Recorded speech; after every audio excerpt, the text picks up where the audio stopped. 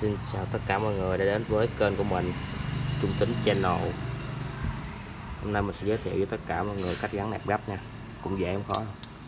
Có điều là phải khoan hai lỗ góc, Nhưng mà nhìn đẹp hơn. Con này xấu quá. Cũ rồi Ok, Mình sẽ gắn nẹp gấp. Đầu tiên mình sẽ cần có một bộ nẹp gấp. Cái này là taro răng 6 ly. 4 con ốc rồi tùy thích nào đi đó thôi ngắn thôi nha mọi người, ngắn thôi đừng dài quá. Và việc quan trọng là phải thay cái cốt gấp này nha, chứ không phải đi gấp zin nha. Đây, cốt gấp này đừng dài quá nha mọi người. Dài quá là cấn cây bồ đây, cấn cây bồ á, cấn cây bồ là nhúng xuống, cái này ốc mình cấn cây bồ móp bồ giá chịu quá.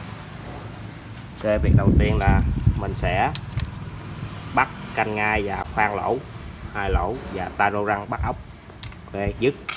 Quên nữa, đây là cái mũi khoan. 5 ly thôi nha mọi người. 5 ly là ok. 5 ly hoặc 5 ly rưỡi mình 5 ly thì đi taro răng cho nó bót hơn, nó gắt hơn.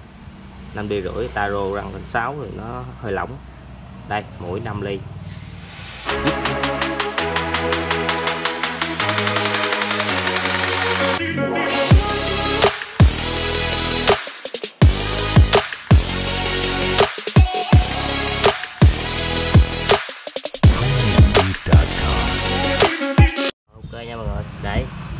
Taro hai ốc dặn vô.